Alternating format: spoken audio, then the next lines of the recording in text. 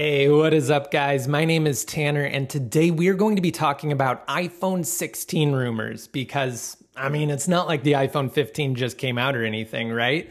Um, no, but seriously, we're going to be talking about the next generation iPhone, a chip that's supposed to power it. And toward the end of this video, I'm going to be talking about, you know, me being back making videos. So stick around for that, and let's just get straight into it.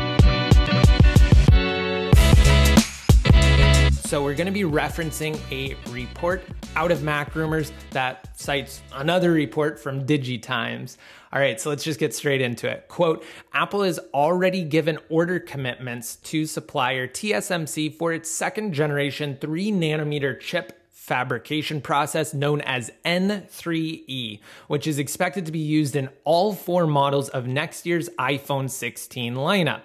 TSMC's next 3 nanometer node upgrade to N3E is less expensive and has improved yield to the Taiwanese foundry's first generation 3 nanometer process, N3B, which made its debut on the smartphone market with the A17 Pro chip that powers Apple's iPhone 15 Pro models.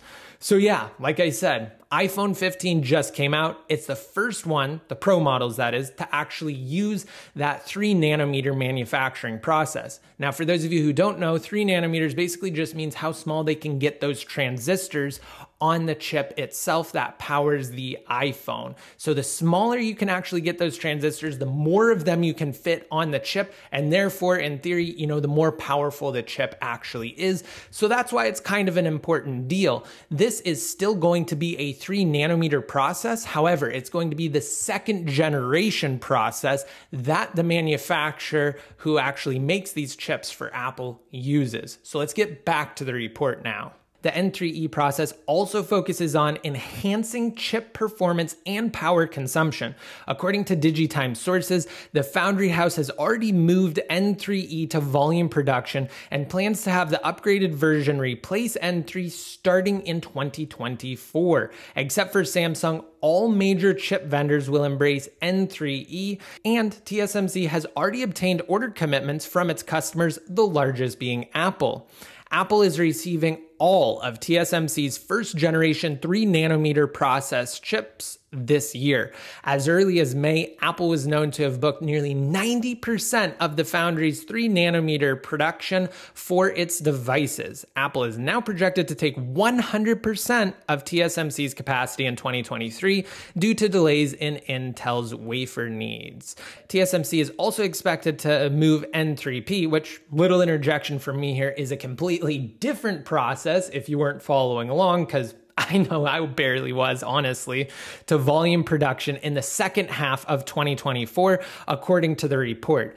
N3P is said to offer an additional boost to N3E with 5% more speed at the same leakage. 5 to 10% power reduction at the same speed and 1.04x more chip density all iPhone 16 models will be equipped with A18 branded chips based on TSMC's N3E node, according to Jeff Pu, an often accurate analyst who covers companies within Apple's supply chain. The iPhone 15 and iPhone 15 Plus are equipped with the A16 Bionic, so a jump to A18 for the iPhone 16 and 16 Plus would be significant.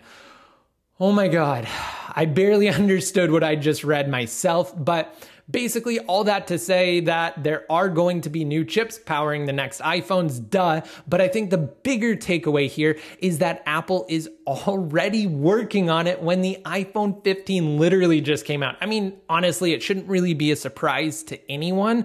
However, it's just, you know, the rumor mill's churning already. So, what do you guys think about that? I'm really curious to know. Let me know down below in the comments section. I mean, you know, over the next year, I mean, we're going to hear a lot about the iPhone 16, and this is just one of those first reports. Hopefully, I'm going to be covering more of them in the future. And like I mentioned toward the beginning of this video, I was going to talk about this at the end. I'm going to be making some more videos here on the channel, things that I find interesting about just tech, like we're talking about now, rumors, you know, games, anything that I think that maybe you guys would find interesting as well. Because as I mentioned in my last video covering an iOS 16 update, I forget which even firmware it was at this point without actually looking.